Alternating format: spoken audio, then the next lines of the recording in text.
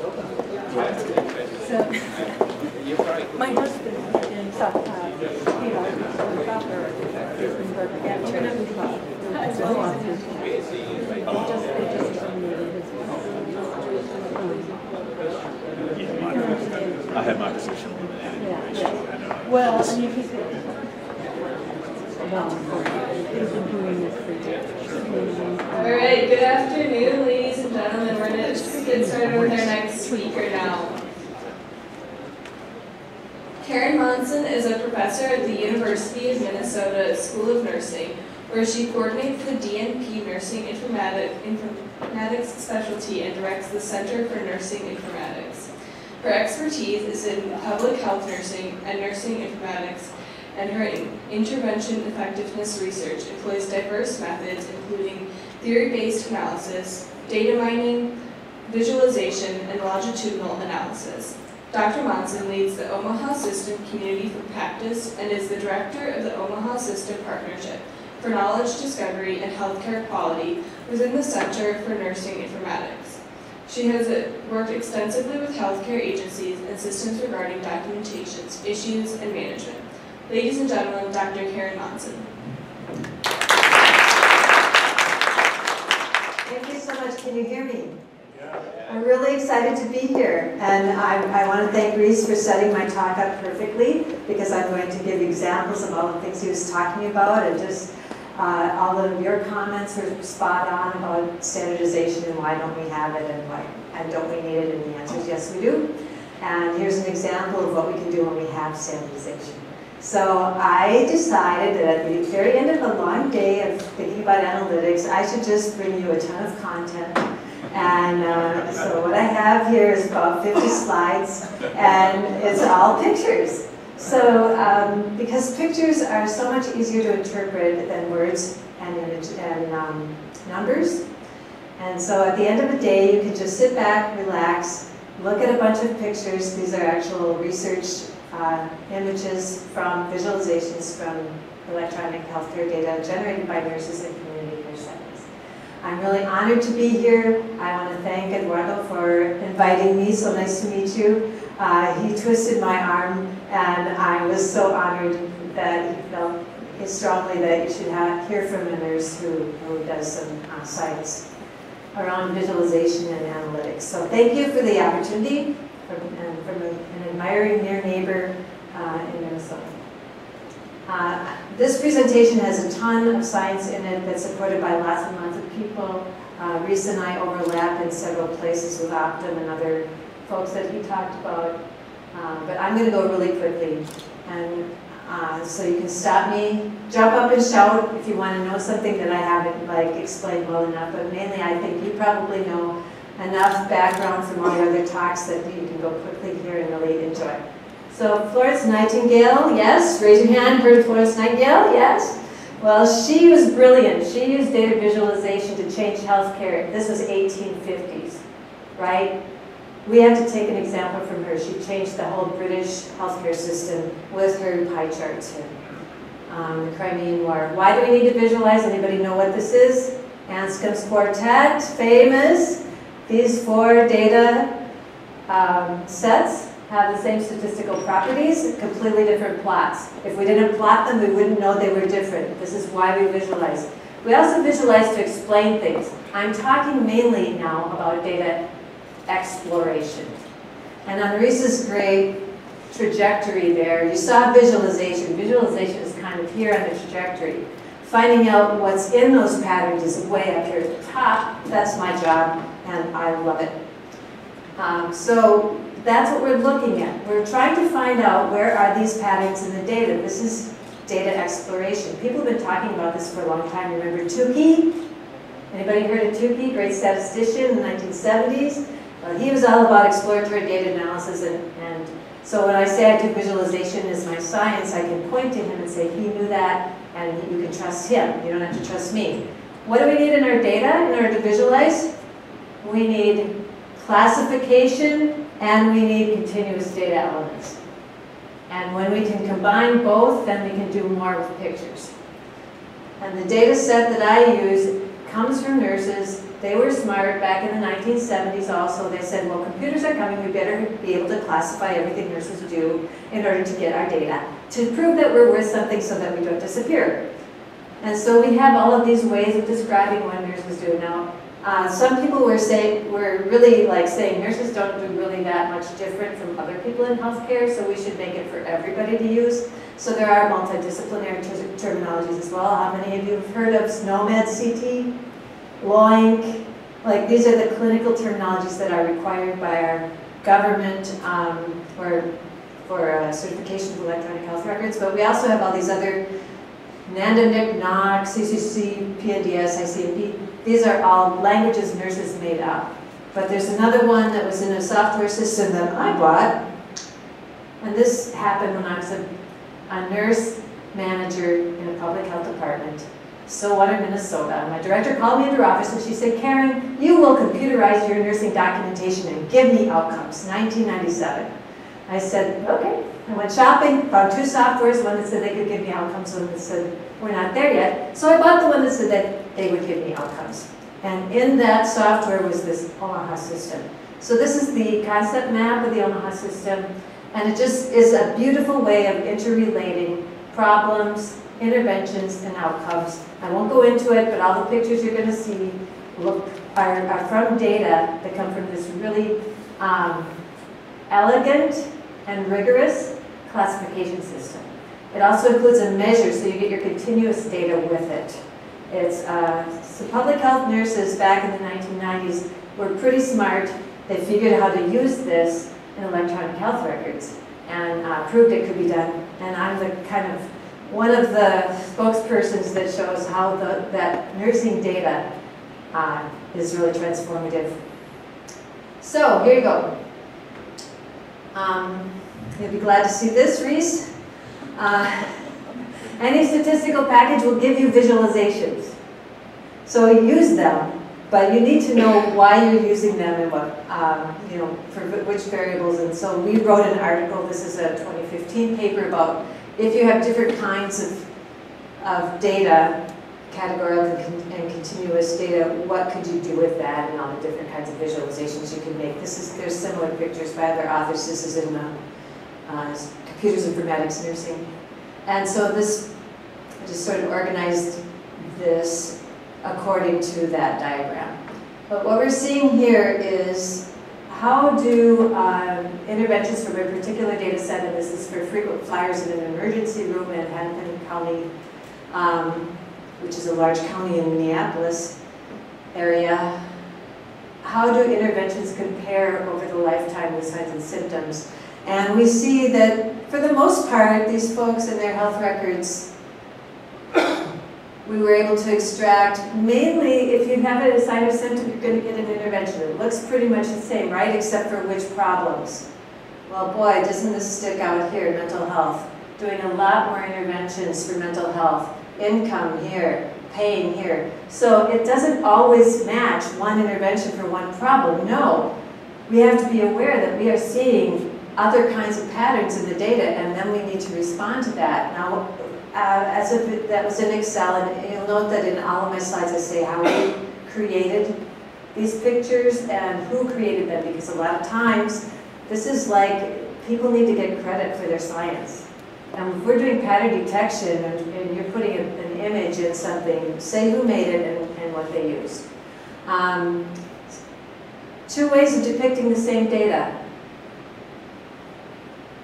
I don't know about you, but I can see pattern a lot easier in this dot plot than I can in this double um, stack, or yeah, bar chart thing.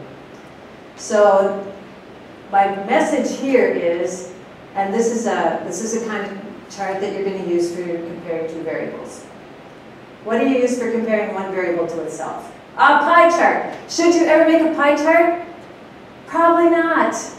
Not interesting. Not not valuable in it in most situations. I'll show you some fancy pie charts later though. But um, the idea being one variable pie chart, two variables bar charts.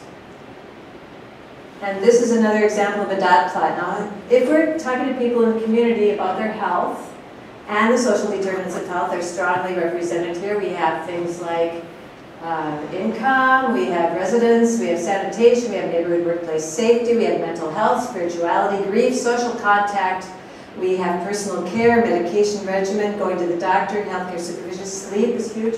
Okay, most people have a lot more strengths, which are the blue dots, than challenges, which are the red dots, than needs, which are the green dots. So you start to get a picture of a population that really has a lot going for it. This is resilience, this is strength, this is cutting edge, this is consumer driven, healthcare data, analytics. Wow, yay! I got an app for this. Yes. All right, bubble charts. Okay, we did um, one variable pie chart. Not going to make those. Two variables, bar graphs. Three variables, bubble charts. Yay! Look at the size of these. They tell you something. How many people are in this population? You also know how much they changed and they're improved after their healthcare interventions by looking on this axis, and you also know their age by looking on this axis. So three variables. If you are comparing three variables, you need a bubble chart. And with, this was a latent class analysis we did to look at health literacy for mothers and children in the community. And we just took the entire huge sample. Actually, this is half of the study. Here's the other half. Um, noticing in the age continuum here, oops, um, these are young folks, right? We got three different groups in this uh, latent class analysis that turned out to be pretty young. And then we got two different groups here that turned out to be older. What do you notice between these two pictures? Well, people got a lot more improvement after intervention when they were young than they did when they were old. Isn't that fascinating? So this is like, this is a 2018 paper. And of course, tons and tons more research can be done once you identify these interesting groups. Um, so this is a whole social determinants of health study, looking at people by the number of social determinants, adding it up into a metric, and then here's a histogram showing you what that metric is. So histograms, this is continuous data now, right? So we've just finished looking at a bunch of categorical data, now we're looking at continuous data. Here's some pie charts. Yay. So these are not pie charts alone. These are just, these are special pie charts because they show a lot of data in a single image. Each of these images probably has 400 um, data points in it. So we tell around the edge there's all these different signs and symptoms that they could be.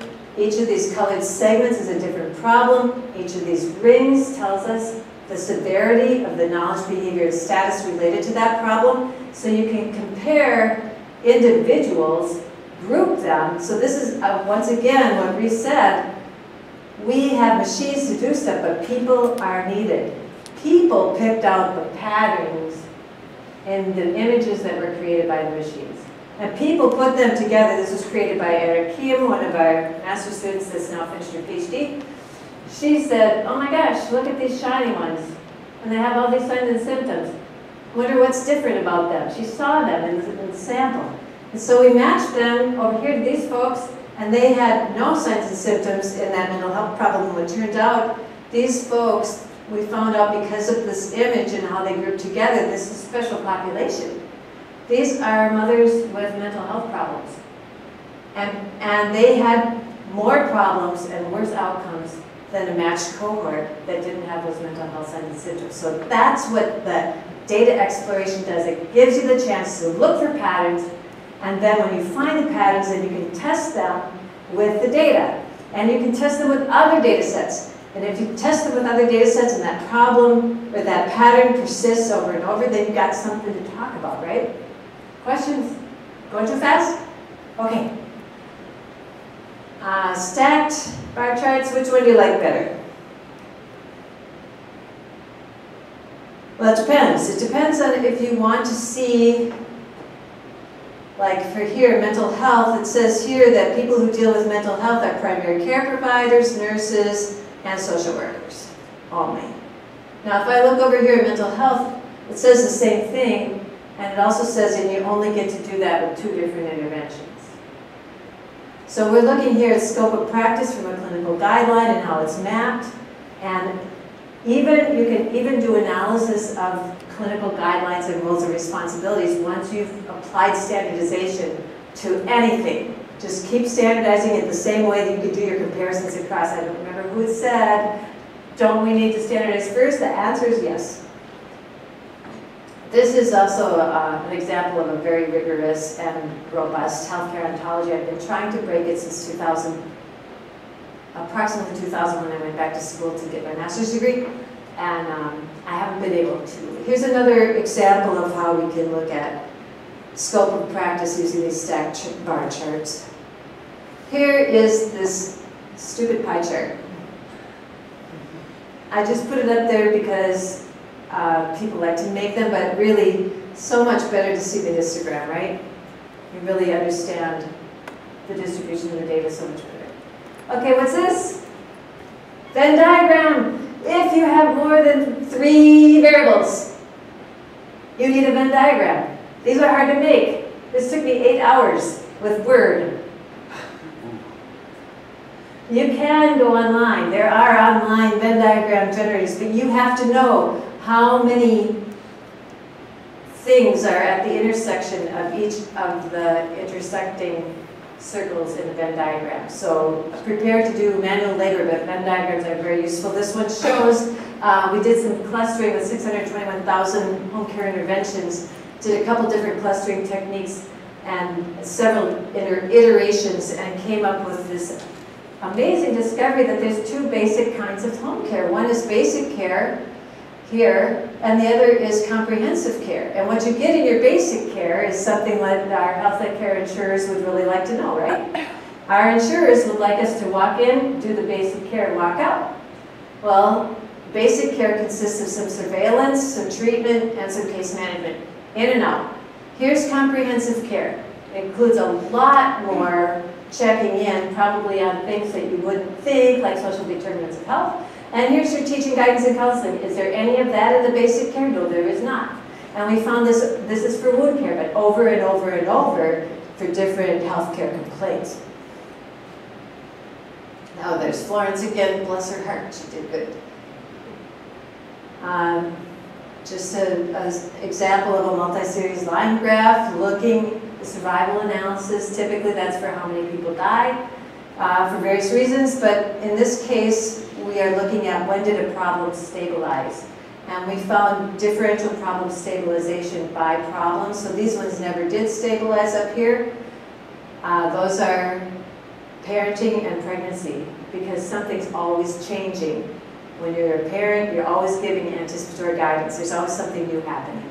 This one, when you're pregnant, there's always something new to talk about every month. So these, these lines never change, but uh, here problems like mental health, um, family planning, substance use, these kinds of problems improved quickly with the public health nurse visit, and um, the nurse just went back to check, to check, to check. That's what that shows. Uh, their multi-series line graph, this is change over time and outcome after several home visits to people, these are elderly or um, just community dwelling folks who live in a depressed area in Mexico, and it was related to the diabetes. So uh, these are also multi-series lines graphs, but with a no baseline. So it spreads out, the baseline spreads out, they're called stream graphs. These were made in D3, also by Era Kim. Um, so this, when you look at these, you can say, hey, nurse didn't do the same thing every time she walked into a person's home because every person's different and every nurse is different and every person's problems are different.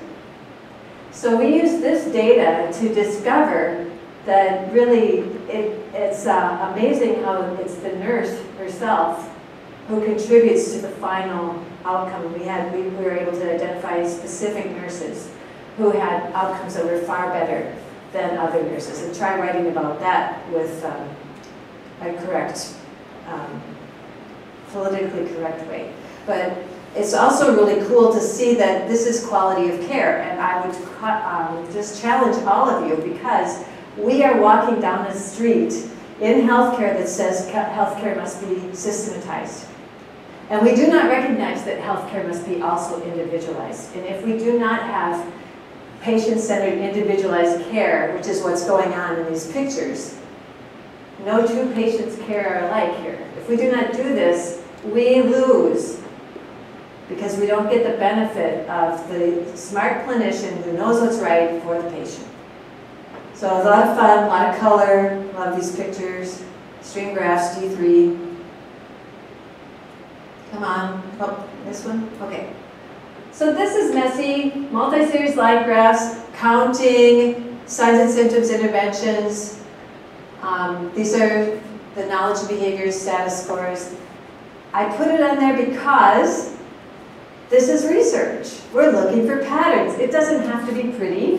In fact, it should not be. And you should play with your data over and over and over. Make lots of pictures. Do different things, even things that are not recommended. You know, your, your software program will offer you five examples of what you might do with this data. Look at all five. Even if it's not specifically for categorical data or continuous data or you, or you think it might work in a new way, try that because what you're looking for is pattern.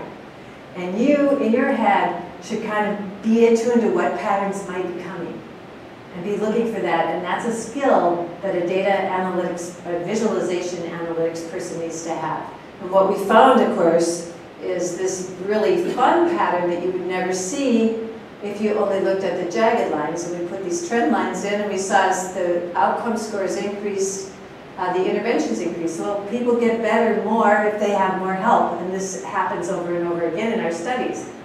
Uh, it's not exactly what our insurance companies want to hear. Um, maps are awesome, GIS is awesome, you'll be able to use those in, in your work, um, and you should. So here's a great map of, of your neighboring state. We did manage to get some of you in here. See this point here somewhere? Which one do you like better? The choropleth up there with, with the uh, shaded counties, or do you like the measles version? I personally do not like the measles version myself. Too, it's too close to home in public health.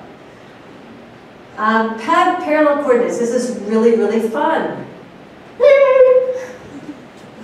so axis, axis, axis, axis, axis. If you want to compare lots and lots of different things, you can put them all normalize them on the y and, and line them up on the x. And brilliant people use these to compare lots of things, and this is really how we discovered the nurse effect. And we testified at the Institute of Medicine on that one.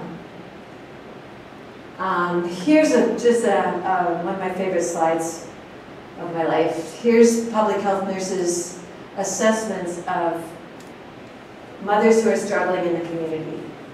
And this is before they get a visit by the public health nurse. And this is all the interventions. And I've shown you lots and lots of pictures of interventions. In this picture, we don't see any of them. We just see this line between the two before and after. And here's the after. Well, what do you notice? Oh my gosh, after is higher than before. People got better. So yay, that's great. And something else happened. What's the pattern on this side? Stratification. Stratification by race and ethnicity. Oh, terrible. What's happened over here? Pattern by problem instead. Public health nurses take away health disparities by race and ethnicity. Whoa. So you, you find this pattern and you test it. And it turns out to be a really good thing for people, for policy, for the world. Okay, here's um, your social and behavioral determinants of health. What happens to people with those, remember the histogram? Well, these are the people divided up. This is 4,000 mothers divided into groups by whether they had no social determinants or five or more on a continuum. Just We just added them up. So there's no like weighting or anything fancy. And what do we find? Everybody gets better. This is the amount of improvement across groups. Straight line, straight line, straight line. Everybody gets better after public health nurse. Good news. What's the bad news? Oh my gosh. People As social behavioral determinants of health increase, outcome scores decrease. These are final outcomes. And, and what's this dotted line? Well, that is the number of interventions it takes to get to this final score. It takes a lot more work to get to a lower outcome when we are experiencing five or more social determinants of health. So everything we said about that, we take to heart. And what we know is plan ahead so that you have the policy in place so that you can serve the people who need it. Here's the heat map. Love heat maps. Everybody know how to make one? Conditional formatting. Do it. Every table you make, every data set, every sheet you have, highlight it, look at it, look for pattern. Here's your uh, five groups. If the distribution by sign or symptom was the same across the sample, across all these, then this pattern would repeat over and over and over, would it not? But it does not repeat. No, it does not. We have different patterns depending. Here's, here's whether you're married or not. And here's minority. And here's income. And these are uh, depression, stress. Here's, and these are, these are decided by the uh, Institute of Medicine, now called the National Academies of Medicine. Uh, they picked these items. We have them in our data set before they ever picked them. Uh, this is abuse. Look at that. Substance use. This is abuse is alcohol. So we tested these patterns. This is visualization science. All it is is results in a, in a table and I put conditional formatting on it and I found patterns and we tested them. This will take you less than one minute to create once you have your, once you have your distribution of your sample. And the, this is a 2017 paper, Social Behavior Determinants, um, Women of Childbearing Age Receiving Public Health or Some Visiting Services. And uh, so again, this heat map, this is a different sample, but we're looking at the same process. This is every single person in a wound care study done in South Carolina. And what we found is, oh my gosh, there's a big green spot here. And the same proportionally, we do not see that green spot over here. Same with this and this. Well, this is about whether or not people adhered to their wound care treatment and whether they um, had a repeat wound. And guess what? Guess what we found? Is this is so fascinating. It's the mental health problem that shows up. If you have positive mental health attributes, you were less likely to have a repeat wound. And you were more likely to stick to your wound routine. How did we find it? Well, we had this beautiful green spot that we looked at. This is what visual an analytics does. Another heat map, this just shows you end-of-life care, looking at mental health across the continuum of care, and that the nurse is doing a lot of the work. I just put that into to show you. And, and Reese, you can ignore this because it's Excel, but it just shows you, this is your little bonus how you do conditional formatting in Excel. Uh, and this, remember Anscombe? Remember Anscombe? So he made four. Well, this is the Datasaurus Dozen. So every single one of these 12 data sets has the same statistical properties as the Datasaurus. So if you want to be famous, you can make your uh, 100 data sets.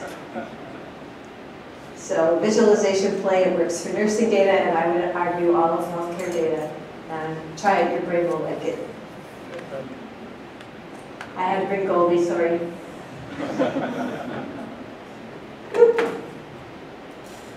I don't think we have any minutes. Uh, we have about two minutes for any questions.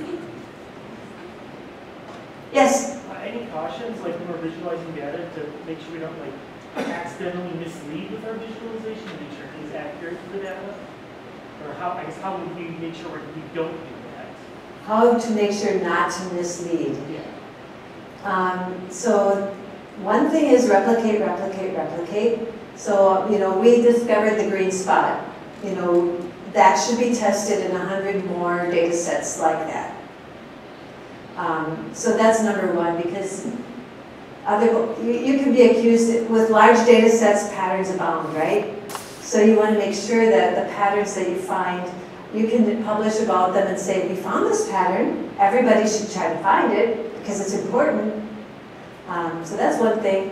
Um, I think, I, uh, I, think people selectively visualize all the time. And I didn't talk about so much the, the expla- explanatory kind of data visualization, but I think um, maybe that misleading thing happens more in that space where we, we show you what we want you to see. Like, there was a big dip in the stock market, and then it came back, and what we're going to show you is the climb after that, right? So distorting axes. I mean, in visualization work, you will distort your axes. You'll do everything to try to figure out what is the pattern I'm seeing. Just make sure that when you publish or write about it or share it or disseminate, you've confirmed it, you've studied it, um, you've tested it in at least one other, or if you know, split your sample, if you have a lot of data, split your sample, look at it in one, and then test it in the other, those kinds of things. Thank you for asking. I think we take one more question.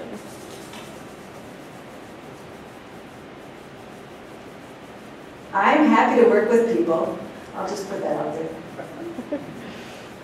Alright. Well, thank you for coming. My great pleasure.